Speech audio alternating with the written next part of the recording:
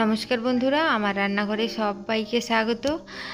আজ আমি একটি নতুনত্ব স্বাদের কাঁকরোলের সবজি নিয়ে এসেছি। তো চলুন দেখে নেওয়া যাক, আমি কীভাবে এই কাঁকরোলের সবজি বানিয়ে নিচ্ছি। এখানে আমি আড়াইশো গ্রাম কাঁকরোল নিয়েছি, আর বড় সাইজের একটা আলু নিয়ে ছাল ছাড়িয়ে কাঁকরোল আর আলু আমি কেটে ধুয়ে নিয়েছি। কড়াইয়ে তেল গরম করতে দিয়েছি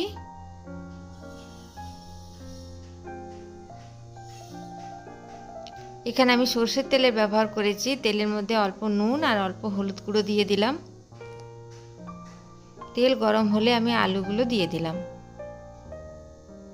প্রথমে আলুগুলো একটু ভেজে নেব। আলুগুলো ভেজে নিলে সবজির স্বাদটা একটু অসাধারণ হয়, খেতেও দুর্দান্ত লাগে।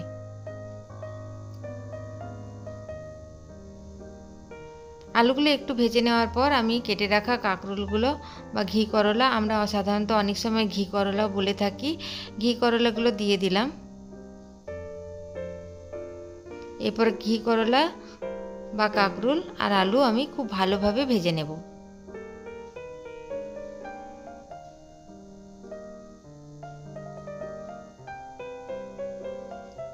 কাঁকরোল ভাজতে ভাজতে আমি একটা মশলার পেস্ট বানিয়ে নেব।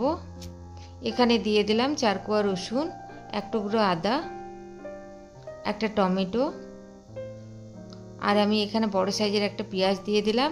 দিয়ে দিলাম একটা শুকনো লঙ্কা, এলাচ, লবঙ্গ, দারচিনি একটা করে দিয়ে দিলাম। দিয়ে দিলাম এক চামচ জিরে গুঁড়ো, এক চামচ ধনে গুঁড়ো। অল্প একটু জল দিয়ে মিক্সিতে মশলার পেস্টটা ভালোভাবে বানিয়ে নিলাম। মিহি করে। এইদিকে আমার কাঁকরোলটা ভাজা হয়ে গেছে। এবার এটা নামিয়ে নেব।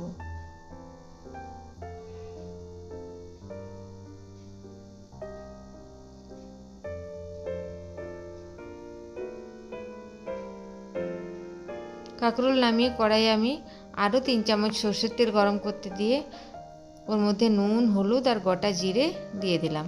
পরিমাণ মতো নুন, হলুদটা আমি তেলের মধ্যে দিয়ে দিয়েছি। এরপর বেটে রাখা মশলার পেস্ট এর মধ্যে দিয়ে দিলাম। এইভাবে এই কাঁকরোলের সবজি বানালে রাতে রুটির সাথে খেতেও দুর্দান্ত লাগে। দিয়ে দিলাম অল্প একটু চিনি। মশলার পেস্টটাকে খুব ভালোভাবে আমি কষিয়ে নেব। তেলটা যতক্ষণ না ছাড়ছে। তেল ছেড়ে দিয়েছে, এরপর মিক্সি বাটি ধুয়ে জল একটু দিয়ে দিলাম। জলটা দিয়েও মশলাটা আরেকবার ভালো করে কষিয়ে নেব। কষিয়ে নেওয়ার পর এরপর ভেজে রাখা আলু আর কাঁকরোল এর মধ্যে দিয়ে দিলাম।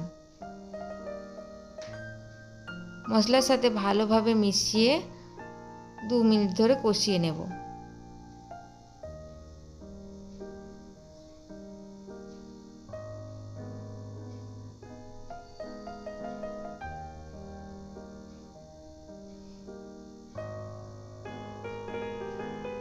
মশলার সাথে সবজিটা যত কষানো হয়, তত সবজির স্বাদ বাড়ে।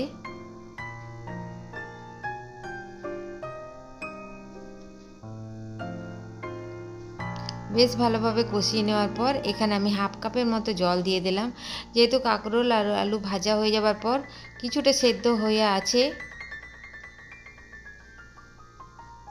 ভালোভাবে নাড়াচাড়া করে আমি এরপর ঢাকা দিয়ে দেবো।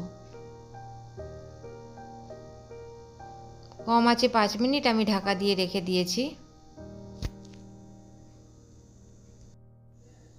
পাঁচ মিনিট পর খুলে দেখি আলু, কাঁকরোল দুটোই আমার সেদ্ধ হয়ে গেছে। এরপর ভালোভাবে নাড়াচাড়া করে নেব। আর দিয়ে দিলাম লাস্টে এর মধ্যে একটু ঘি আর হাফ চামচ গরম মশলা। ভালোভাবে নাড়াচাড়া করে গ্যাসটা বন্ধ করে দেবো। এইভাবে কাঁকরোলের সবজি যদি আপনাদের ভালো লাগে, তো আমার চ্যানেলটিকে সাবস্ক্রাইব করার জন্য অনুরোধ রইল, সঙ্গে একটি লাইক করে দেবেন। ভিডিওটি দেখার জন্য আপনাদের সকলকে অসংখ্য ধন্যবাদ।